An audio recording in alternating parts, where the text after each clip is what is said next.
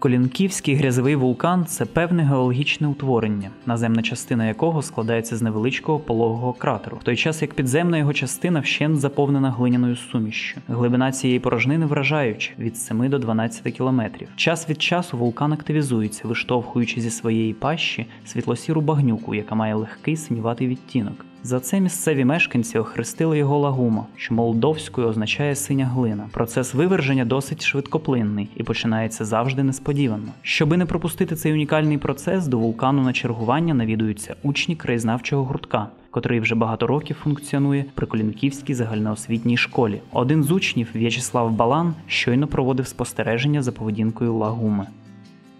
Наш геологічний об'єкт є в межах суво території.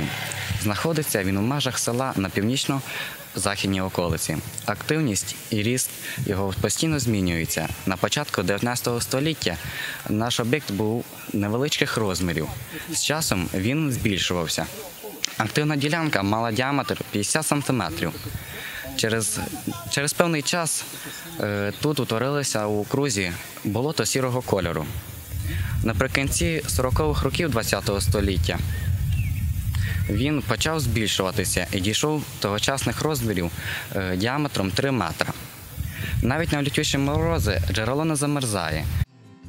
Раніше навколо вулкану було одразу три водяних млини, лопасті яких обертали води джерела, що протікає поруч. Люди, які привозили сюди молоти зерно на борошно, мали пильнувати, аби худобу не засмоктало у болото.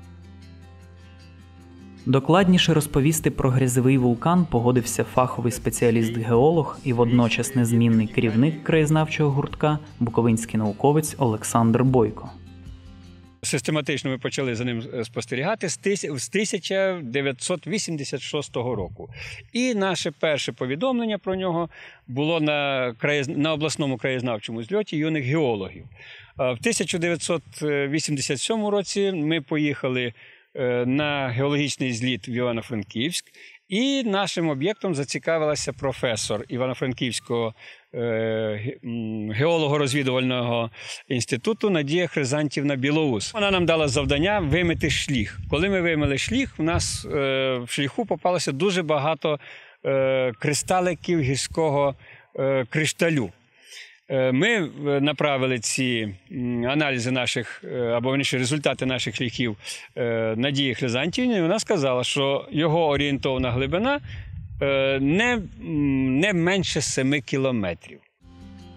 Вчені виокремлюють два можливі механізми утворення грязових вулканів. Перший за рахунок нафтогазового фактору внаслідок формування чи руйнування родовищ газу та нафти. Другий за рахунок тектонічного фактору внаслідок геодинаміки, коли відбувається розвиток діапірових складок, пологих насувів і глибинних розломів.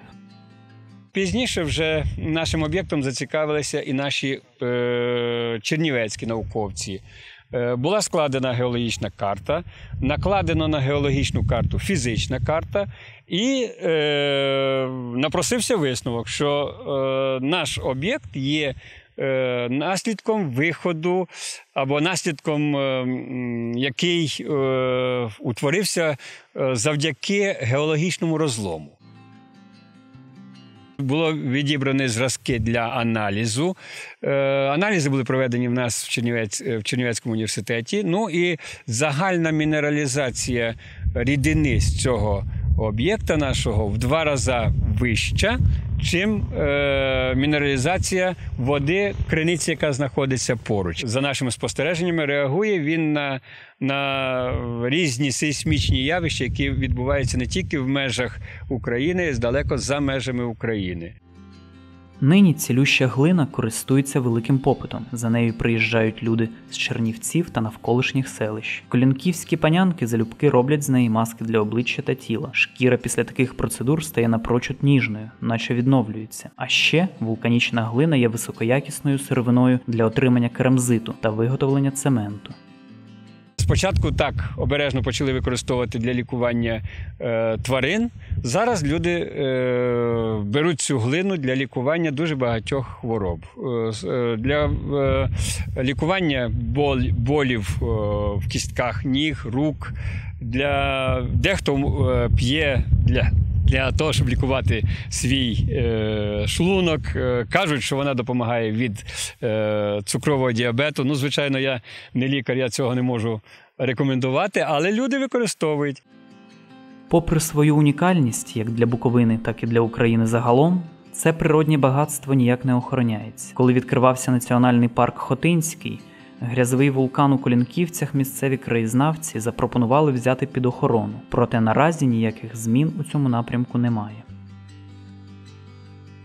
До вулкану давно звикли, за ним спостерігають, про нього складають легенди, а він продовжує жити у своєму ритмі, акумулюючи енергію для наступних вивержень.